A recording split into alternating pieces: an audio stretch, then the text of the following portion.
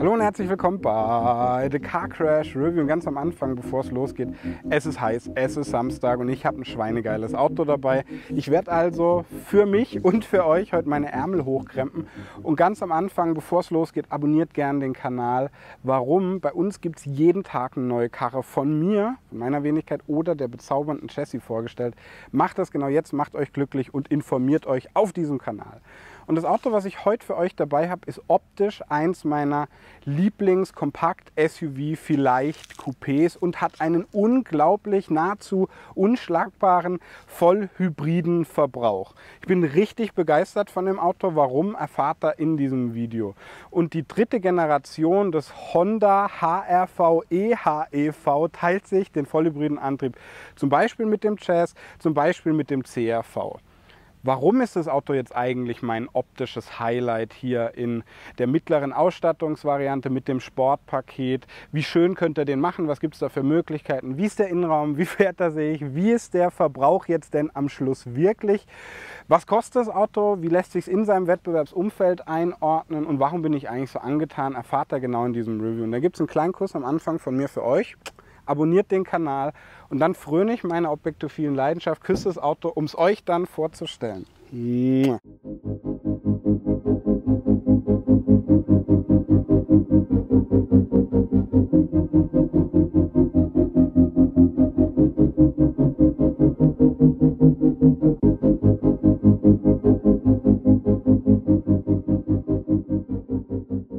Ja, ganz am Anfang spreche ich mit sehr viel Liebe über unseren Kooperationspartner GoLeasy. Was machen die Jungs? Die vergleichen für euch unter den etablierten Leasinganbietern und suchen den garantiert besten Leasingpreis für euer Traumwagen raus. Schaut da gern vorbei, ist eine gute Sache. Wir vergleichen da übrigens selbst. Und jetzt werde ich mal so ein bisschen die Zeitschritte bei Honda der jüngeren Vergangenheit aufmalen für euch. Und erstmal ging es natürlich hier mit dem HRV 1998 los.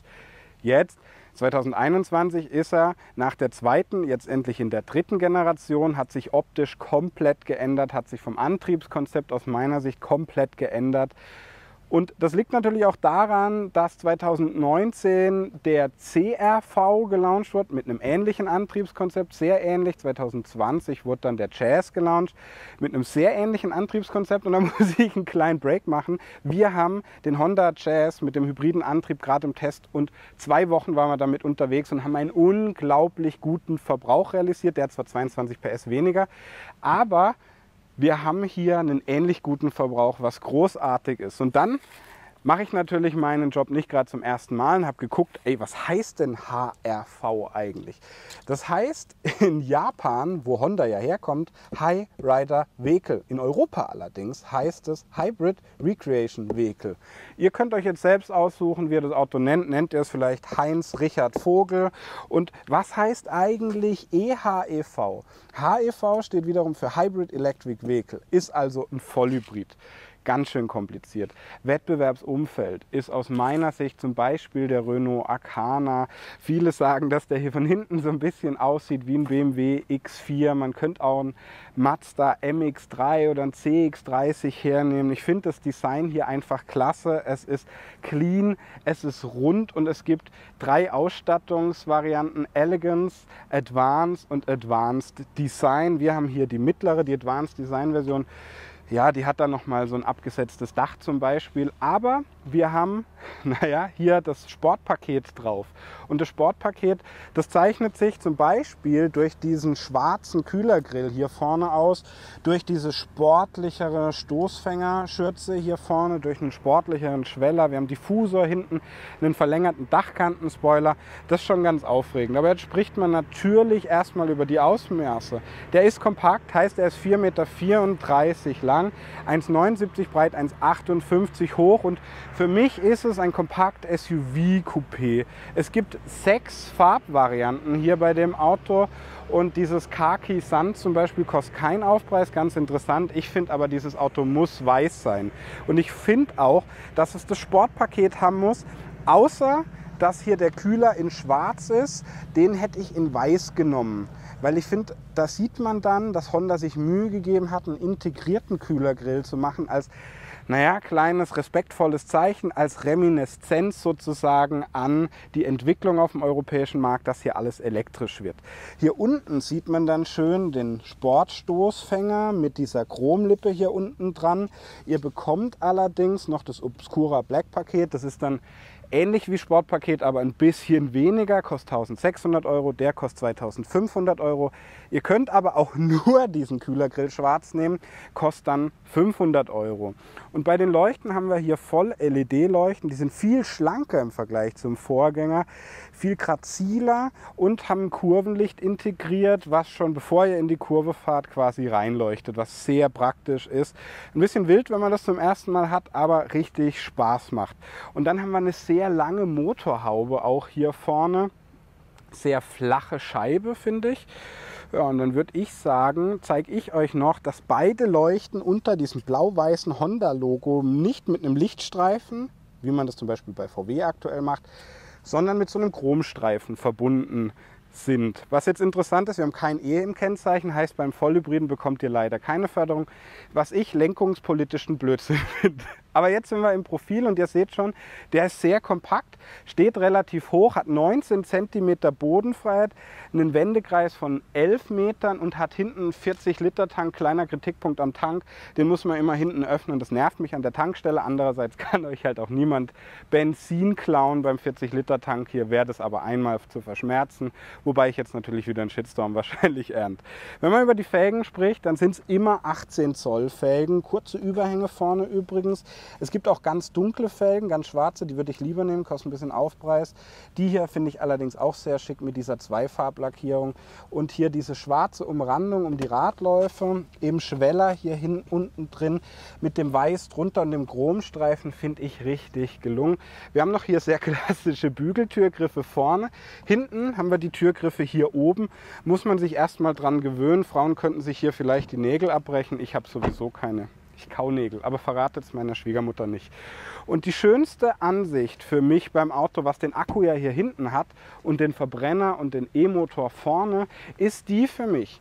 Denn diese abfallende Dachlinie und vor allem diese sehr cleane Optik in der Seite mit kaum Sicken, kaum Kanten, finde ich ein unglaublich schönes japanisches Design. Manche haben mal gesagt, der ist schöner als der Ford Mustang Mach-E, was ein richtiges Kompliment aus meiner Sicht fürs Auto ist. Und jetzt gehen wir nach hinten und wir haben hier sehr schmale Leuchten wieder, die verbunden sind, ähnlich wie das, was Mercedes macht, mit einem Lichtband hier, die LED-Leuchten. Hinten abgedunkelte Scheiben. Ich habe euch ja die Schweller gezeigt und jetzt zeige ich, zeige ich euch die verlängerte Dachkante hier oben, die sehr schick ist. Ne? Und ich habe euch ja auch das Honda-Zeichen hier gezeigt. HRV steht wie gesagt hier. EHEV steht hier. Jetzt wisst ihr ja auch, was es bedeutet. Hier unten haben wir wieder diesen Diffusor, der ein bisschen schöner ist im Sportpaket. Und da unten ist dann der echte Auspuff, das echte Auspuff-Endrohr. Es gibt außen noch so ein leichtes Chrompaket. Das gibt es auch für innen, was ich auch ganz interessant finde. Da könnt ihr im Konfigurator viel machen, allerdings auch nicht zu viel. Und jetzt schaut mal, der Kofferraum geht jetzt hier in der Ausstattung elektrisch auf. Es gibt auch eine Annäherungsfunktion in der höchsten, glaube ich. Noch schöner wird das Auto natürlich mit dem Dach in Kontrastlackierung dann in dem höchsten Ausstattungspaket. 320 bis 1300 Liter Kofferraumvolumen. Kommt ein bisschen auf die Ausstattung an. Und jetzt schaut mal hier rein. Spannend ist natürlich, hier haben wir noch so ein Secret-Fach, wo ihr was von der Freundin verstecken könnt. Und guck mal, hier unten ist der Lithium-Ionen-Akku. Ja, ganz spannend, da liegt er. Der ist jetzt 60 Zellen groß. Wie groß er genau ist, weiß ich nicht. Da gibt es leider keine Werte. Spannend ist auch, ihr könnt von hier hinten die Sitze umklappen. Schaut euch das mal an. So, geht ganz gut, zumindest mit meiner Größe. Und dann haben wir hinten richtig viel Platz, keine Ladekante. Das ist großartig. Das soll man zwei Mountainbikes wohl nebeneinander reinbekommen, was echt gut ist. Hier oben haben wir dann noch diese kleine Jalousie, die man rausnehmen kann, händisch. Schaut euch das an. Hier ist sie dann raus. So, da ist ein kleines Stück abgefallen, aber das drücken wir einfach wieder drauf. Und jetzt mache ich das hier wieder rein. Schaut euch das mal an. So, und da seht ihr auch schon, dass ich nie gut aufgepasst habe in der Schule, wenn es ums Werken ging, aber ich gebe mir Mühe.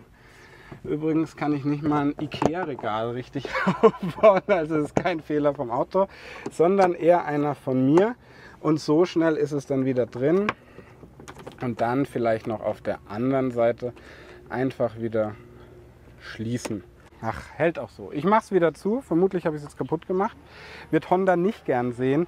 Was sie gern sehen werden, ist meine Begeisterung für die Magic Seats. Ich mache nochmal hier oben auf. Lass euch dann hier rein, gehe selbst auf der anderen Seite rein, denn diese Magic Seats, die tragen ihren Namen völlig zurecht. Ich klappe jetzt hier mal wieder hoch. Das geht unglaublich leicht, also brauche ich nicht viel Kraft setze mich selbst noch nicht rein und zeige euch nochmal, schaut mal, hier kann ich das umklappen, hochklappen und hier wieder hochklappen. Heißt, ich könnte das dann noch runterklappen und dann, Moment, klappe ich hier noch hoch und könnt hier nochmal was reinstellen. Schaut euch das an, wie viel Platz ich hier habe. Einen ganz niedrigen Tunnel hier in der Mitte, was echt schön ist. Und kann dann auch hier umklappen zum Beispiel wieder. Schaut. So, und hier wieder. So, ganz einfach und setze mich jetzt hier rein, mache die Tür zu. Und noch schöner für mich hier drin ist, dass ich viel Platz habe. Also ich habe viel Platz für den Kopf. Schaut euch das an. Zwei Handflächen nochmal, obwohl ich 1,88 groß bin, nochmal Platz bis nach vorne eine Faust. Ja, und dann geht es natürlich um die Verarbeitungsqualität. Die Sitze sind echt gut hier mit dem Stoff. Auch die Kopfstützen hier sind großartig. Natürlich, der Gurt für die Mitte ist hier, aber am schönsten ist natürlich hier unten, dass wir hier viel Platz haben. Heißt, ich kann auch echt bequem in der Mitte sitzen. Armauflage haben wir hier auch mit zwei Cupholder. Sehr, sehr praktisch und heller Himmel. Hier haben wir solche Leuchten zum Beispiel auch drin. Fach hier, Fach hier vorne, zwei Lüftungsdüsen. Ja, Isofix sowieso, gehört inzwischen zum guten Ton. Ne? Und jetzt schauen wir mal in die Tür rein. Ja, und da seht ihr dann schon Gepolsterte Armauflage, viel Plastik, nur unten Hartplastik, oben weiches Plastik. Schöner Türöffner, dieses rote Teil zum Abschließen finde ich nicht ganz so schön. Ein bisschen Klavierlack könnte auch besser sein, aber wirklich solide verarbeitet für den Preis, den ich euch dann am Ende verraten werde.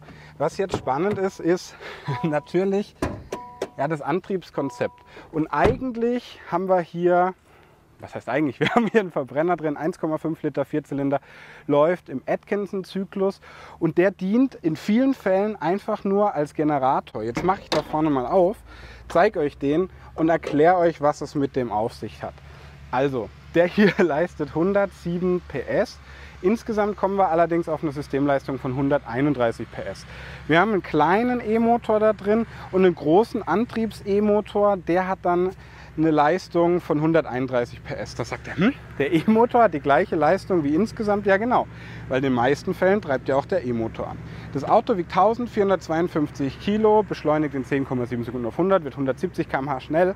Und das Beste ist, der Verbrauch liegt bei nur 5,4 Litern. Für die Größe. Und das ist kein Diesel übrigens. So, jetzt mache ich mal zu. Jetzt wird es allerdings ein bisschen einfacher in dem Video. Das Schwierigste für mich ist geschafft. Ich zeige euch jetzt den Innenraum und dann werde ich euch erklären, wie dieses Auto sich fährt. Das ist nämlich ganz spannend und was wir wirklich verbraucht haben. Kommt mit.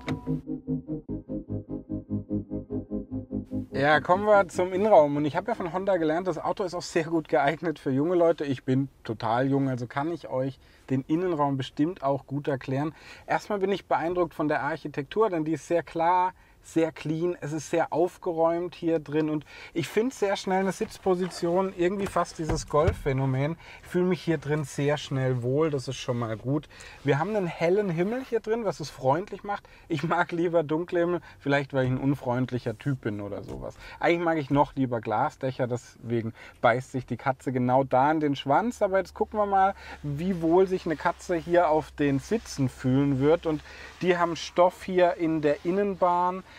Kunstleder haben wir außen, eine schöne Naht. Wir können auch hier die Kopfstützen flexibel verstellen. Ich bin 1,88 groß, habe hier mehr als genug Platz, eine hohe Sitzposition. Das ist schon mal sehr gut. Und jetzt würde ich sagen, schauen wir mal in die Tür rein. Da vorne mag ich auch nicht dieses Element, um die Tür zu öffnen und zu schließen.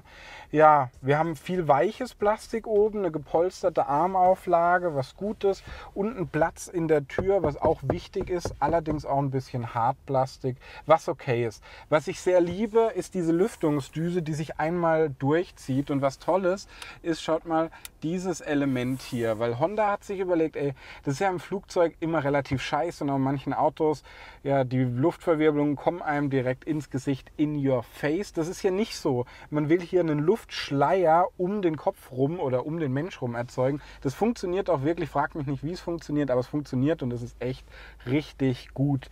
Ja, jetzt beschäftigen wir uns mit dem neuen aufgesetzten 9 Zoll Display und dem 7 Zoll digitalen Cockpit hier vorne. Richtig gut.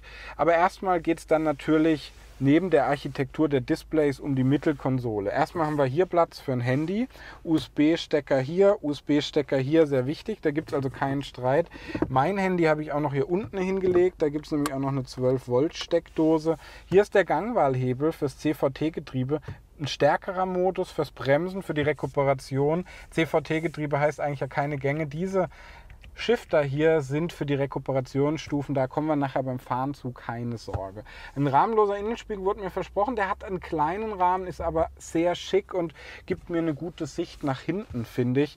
Und ja, das ist relativ breit, ein bisschen zerklüftet, gefällt mir aber gut. Fahrmodi haben wir hier. Da vorne seht ihr dann Econ normal Sport, also auch ganz gut gelöst. Elektrische Parkbremse, Bergabfahrhilfe hier und hier ist er der Schlüssel. Relativ klein, sieht ein bisschen aus wie ein Tamagotchi. Ich liebe kleine Schlüssel. Cupholder hier.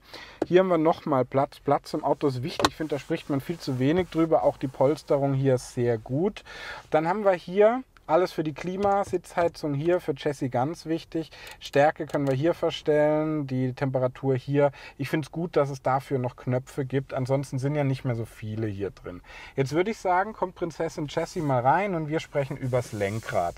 Das ist nicht zu dick, nicht zu dünn, sehr rund, im Vergleich zum Vorgänger wesentlich kleinerer Pralltopf. Dann haben wir hier Sprachsteuerung und können dann auf der Seite da vorne uns zwei Elemente anzeigen, in dem Display, können dann zum Beispiel das Telefon reinmachen oder die Sicherheitsgurte hier reinmachen zum Beispiel oder die Wartungsintervalle hier reinmachen und da immer dann wieder zurück. Rechts die Geschwindigkeit, links die Geschwindigkeit, die wir fahren, dann digital. Dann haben wir den Modus hier drin, die Reichweite, die Gradzahl. Ganz gut auf der Seite, dann können wir noch hinten den Kofferraum aufmachen. Vorne dann seht ihr hier unten können wir den Tankdeckel aufmachen und die Klappe vorne. Und ansonsten fühle ich mich hier wirklich sehr wohl. Assistenten sind hier drauf. Hier haben wir dann noch die Lenkradheizung. Start-Stopp-Knopf hier in einem giftigen Rot. Und dann spricht man über das 9 Zoll große Infotainment. Und das liebe ich, weil es ist vielleicht nicht das Allerschnellste, aber es ist sehr intuitiv. Schaut mal Anzeigemodus, DAB, Bluetooth, Apple CarPlay, Android Auto können wir verbinden. Interessant ist übrigens auch bei diesem System Apple CarPlay geht auch over the air, also ohne Kabel, Android Auto nur mit. Meistens ist es andersrum.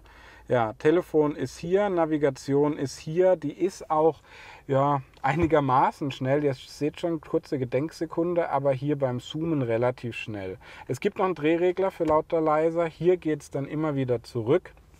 Was mir nicht ganz so gut taugt, ist, dass das System nicht zu mir gedreht ist, sondern sehr mittig. Dann sieht allerdings der Beifahrer was. Alle Anwendungen haben wir dann hier.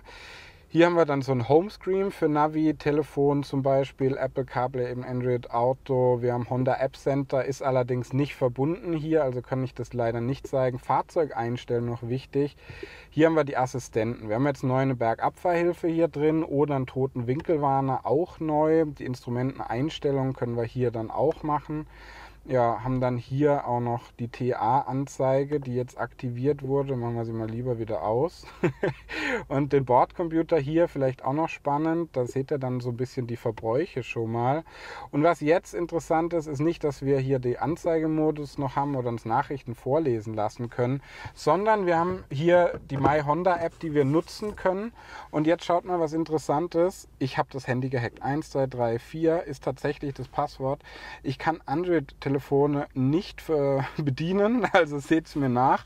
Und ich habe einfach hier wirklich das Passwort rausgefunden, ist auch nicht so schwer. Ne? Füllzustand, äh, Kilometer, die Innentemperatur vom Auto. Wir können das auch als digitalen Schlüssel verwenden. Dafür muss man dann swipen und starten. Hier geht es dann wieder zurück. Ja, dann haben wir hier alles zum was wir ja, entdecken können. Wir haben hier Journeys und wir können hier eine Geofence einstellen. Also Kinder dürfen zum Beispiel eine gewisse Area nicht raus oder haben hier Honda Digital Road Assistance und haben hier nochmal zur Sicherheit sind alle Fenster zu, ist abgeschlossen und hier geht es dann wieder zurück. Und was mir am besten gefällt, dazu habe ich aber gelernt, muss man das Auto ausmachen. Ich bin ja immer so ein Typ ich verliere mein Auto ne, und könnte hier jetzt hupen lassen. Und wenn ich dann weiß, okay, es hupt, wüsste ich, wo mein Auto steht. Aber bevor es jetzt hier zu lange hupt, würde ich sagen, fahren wir los. Ja, jetzt fahren wir los. Seid ihr schon gespannt, was wir wohl verbrauchen und wie dynamisch das Auto natürlich auch ist. Erstmal machen wir es hier unten an auf dem Start-Stopp-Knopf und ziehen den Gangwahlhebel nach B oder nach D oder wenn wir rückwärts fahren wollen nach R. Und das ist schon der erste Kritikpunkt. Weil wenn ich schnell hier rückwärts fahren will, wäre es für mich sinnvoller, ich mache einfach ganz nach oben, fahre rückwärts und hier bei R, ja, muss ich das immer ein bisschen suchen, aber vermutlich gewöhnt man sich dran. Rückfahrkamera habt ihr hier und ähm, dann testen wir vielleicht zuerst auch mal den Wendekreis, 11 Meter. Der ist gut, aber auch nicht sehr gut, heißt wir kommen hier nicht einmal drumrum, aber das ist okay. Ich habe mich mit meinem Honda Jazz ja schon ein bisschen dran gewöhnt. Übrigens sehr überraschend ist, der Jazz hat einen ganz ähnlichen Verbrauch wie der. Viele sagen jetzt, ja, das ist überhaupt nicht überraschend. Und ähm, ja, wenn ich jetzt hier die Energieflussanzeige reinmache, seht ihr schon, wir rollen jetzt den Berg runter. Sind im B-Modus, im stärksten Rekuperationsmodus. Auch der könnte für mich stärker sein, weil dann könnte man in dem Auto tatsächlich ein sogenanntes One-Pedal-Driving realisieren so geht das nicht. So seht ihr aber, dass der E-Motor, also zumindest der eine davon, andersrum als Generator fungiert und ja, wieder den Akku, der ja hinten liegt, auflädt. Das sorgt dann eben dafür, ja, dass wir nicht wie bei einem reinen Verbrenner die Energie einfach wegfliegen haben, sondern dass wir die hinten einfangen, was Gutes. Wir können allerdings auch ganz flexibel hier die Rekuperationsstufen verstellen, bis hin ja, zum einfachen Ausrollen dann hier oder wieder stärkeres Bremsen. Das ist schon vor allem für Sparfüchse ganz gut. Und jetzt sind wir im normalen Modus. Wenn wir das noch im Econ-Modus machen, also in dem nachhaltigsten, wie euch Jesse immer sagt, ist es noch besser. Ich mache den B-Modus immer rein, weil ich es einfach sehr praktisch finde. Und jetzt kommt da unten eine Straße, heißt wir fangen mal in Sport an, schauen uns vielleicht da vorne noch die Kühe an. Gott, was für viele Kühe. Ne? Und ich bremse jetzt hier mal runter beim Auto, was ja 1452 Kilo schwer ist, gebe Gas und dann schauen wir mal, wie schnell wir auf 100 sind. Der hat schon echt soliden Antritt. Ne? Und jetzt guckt mal 100. Ja, jetzt bremse ich nochmal hier ab. Jetzt fahren wir mal schon mal gleich schneller in eine Kurve hier rein. Und dann seht ihr, der regelt auch den Frontantrieb vorne ganz gut, was auch echt beim dynamischen Fahren richtig viel Spaß macht. Jetzt ist mir mein Spickzettel hier nach vorne gefallen, den machen wir natürlich einmal noch mal schnell weg. Und was jetzt schön ist, ist, dass wir bei niedrigen Geschwindigkeiten, vielleicht im normalen Modus, rein elektrisch fahren, was mir ausgesprochen viel Spaß macht, weil das Auto in naja, Stadtfahrten, hat man mir bei Honda erklärt, zu 91 Prozent rein elektrisch unterwegs sein kann, was ich echt gut finde. Und dann ist es halt auch ein sehr leises System. Ihr seht jetzt immer hier vorne, ist der Verbrenner dabei, ist er nicht mehr dabei, bei niedrigen Geschwindigkeiten ist er nicht dabei. Wenn ich jetzt nochmal aus und anmache, ne, so hier in den Parkmodus, machen wir nochmal an hier dann merkt ihr auch, er fährt elektrisch los. Heißt, er kommt von einem stressigen Arbeitstag, fährt elektrisch los und dann geben wir Gas. Zwischen 23 km/h funktioniert dann auch die Bergabfahrhilfe. Was sehr spannend ist, ist ja ein CVT-Getriebe drin, ob man das jetzt ECVT nennt oder EHRV oder wie auch immer, ist eigentlich alles völlig egal. Der Gummibandeffekt, der ist so ein bisschen da. Heißt, wenn man jetzt aufs Gas drückt, das zeige ich euch, dann wird es ein bisschen lauter. Wenn man das natürlich wie so ein richtiger Grobian macht, ne, hier, aber wenn man das langsamer und leiser macht, dann merkt man eigentlich nicht, dass man CVT-Getriebe da drin hat. Was allerdings sehr spannend ist, ist, das ist ja ein nahezu stufenloses Getriebe. Heißt, die Beschleunigung hier drin, die finde ich sehr solide. Der einzige Nachteil ist eben nur das. Auto wird 170 km/h schnell und ganz spannend ist, ich kann euch ja jetzt einen sehr soliden Wert liefern, was wir wirklich verbraucht haben hier. Und wir sind heute zwei Stunden gefahren und auf der Uhr vorne standen 4,9 Liter. Jetzt kann ich ja hier nochmal die Energieflussanzeige machen. machen. Stromladung auch interessant. Das ist einfach nur eine andere Ansicht. Ne? Da seht ihr dann, so geben wir Energie aus und so rekuperieren wir dann wieder im Schubbetrieb oder beim Bremsen.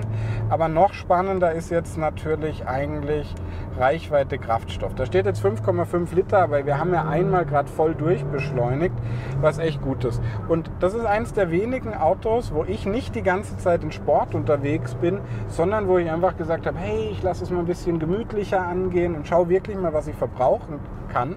Und das hat echt Spaß gemacht. Und mit dem Verbrauch, mit dem 40 Liter Tank, kommt man ja irgendwie 700 Kilometer weit rein rechnerisch. Und das ist sehr konkurrenzfähig. Mit dem Diesel, mit dem größeren Tank wäre das noch schicker. Was jetzt schön ist auch, wenn wir hier die Assistenten reinmachen, können wir dann hier auf Plus oder ein Limiter reinmachen zum Beispiel, setzen und dann hält der dann auch die Geschwindigkeit. Ne? Wir haben dann auch den Abstand zum Vordermann, den man einstellen kann oder auch die Spur, die das Auto dann hält, wenn man das will. Ähm, ja, hier ist er dann, wenn man die Spur, wenn er die Spur erkennt, macht er das auch. Und so können wir dann die Spur halten, können die Hände auch eine Zeit vom Lenkrad wegmachen, was vor allem auf der Autobahn auch wirklich sehr komfortabel ist. Rundumsicht ist okay, hinten die Scheibe ist tendenziell natürlich ein bisschen kleiner. Ne?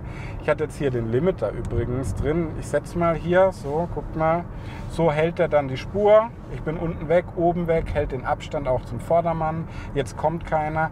Wir haben auch zum ersten Mal einen toten Winkelassistent drin. Die Bergabfahrhilfe habe ich euch schon erzählt. Und dann ist es ein Auto, was einigermaßen sportlich ist, ganz gut regelt bei zu schnell angefahrenen Kurven, was allerdings einen unglaublich guten Verbrauch hat. Das ist es. Und jetzt kommen wir zum Fazit. Kommen wir zum Fazit. Und euch interessiert natürlich jetzt wie Sau, sag mal Jan, was ist deine Meinung als absoluter Vollprofi von einem Auto? Fangen wir vielleicht mal anders an. Was erwarte ich von so einer Art von Auto? Es soll komfortabel sein. Ich mag es, wenn ich ein bisschen hoch sitze. Ich mag Flexibilität und auf was ich besonders stehe, ist vor allem in so einer modernen Welt ein niedriger Verbrauch. Check, check, check, check. Warum? Honda sagt, ja, dieses Auto, das ist uns optisch so gelungen, das finden wir so geil, da kleben wir gern das Prädikat drauf, für junge Leute geeignet. Ich bin jung, zumindest fast noch jung, und ich finde die Optik einfach herausragend. Ihr könnt auch viel machen mit den unterschiedlichen Ausstattungspaketen, was ich gut finde. Ihr habt hinten die Magic Seats, ihr bekommt da zwei Mountainbikes, zumindest ohne Räder vorne rein, was eine sehr hohe Flexibilität ist. Und das, obwohl ihr hier oben diese herabfallende Dachlinie habt, die ich toll finde. Ich finde vor allem allem das Profil vom Auto wunderschön. Ihr habt einen relativ großen Kofferraum. Ihr habt einen modernen Innenraum und auch für junge Leute übrigens geeignet ist die My Honda App, wo ihr von außen aufs Auto auch so ein bisschen Zugriff habt. Und jetzt geht es dann natürlich knallhart in diesem Segment, wo ja nahezu jeder Hersteller mit oder ohne Coupé-Dachform was hat, um Preis. Der Vorgänger begann ja schon bei unter 22.000 Euro und der in der niedrigsten Ausstattung liegt jetzt bei 30.400 Euro. Jetzt sagen viele da draußen, das ist aber viel mehr, das ist ja über 8.000 Euro, stimmt. Ihr habt hier einen Motor drin. Bei uns stand auf der Uhr wirklich 4,9 Liter. 131 PS, das ist eine Allzweckwaffe, die ich mir so wünsche. Das passt absolut in die Welt und dafür in Verbindung mit dem Auto, mit der Karosserie, finde ich den Preis gerechtfertigt. Wenn ihr jetzt allerdings aber mal guckt, das Auto so wie es hier ist, seht ihr das? Das ist jetzt in der höchsten Ausstattungsvariante mit der Dachreling, mit diesem Designpaket nochmal außen. Ja, liegt dann bei 35.300 Euro, so wie er hier ist in Advanced, liegt er bei 32.600 Euro. Das ist okay. Was natürlich allerdings lenkungspolitisch völliger Bullshit ist, hallo neue Regierung, ist, dass man hierfür keine Förderung bekommt, für Plug-in-Hybride allerdings eine volle Förderung. Wenn ihr nämlich dieses Auto nie laden wollt, dann ist ein Vollhybrid viel sinnvoller als ein Plug-in-Hybrid. Wenn ihr laden wollt, kann man sich darüber streiten. Wer das weiß, ist natürlich unser Kooperationspartner GoLeasy. Was machen die? Die vergleichen für euch unter den etablierten Leasinganbietern und suchen den garantiert besten Leasingpreis raus. Schaut da gern vorbei, ist eine gute Sache. Wir vergleichen da übrigens für immer selbst. Hallo Jungs. Ja, und hier seid ihr gelandet bei The Car Crash Review, dem Auto Review Goat, dem besten Auto Review Kanal of all times forever. Ich hoffe, ihr versteht den ironischen Unterton. Wenn er euch trotzdem gefallen sollte, dann abonniert ihn genau jetzt, tut mir und Jesse einen Gefallen und belohnt euch mit jedem Tag einen neuen Review. Ich bin der Jan, bedanke mich bei euch und bis bald in einem anderen japanischen Zirkus. Ciao, tschüss.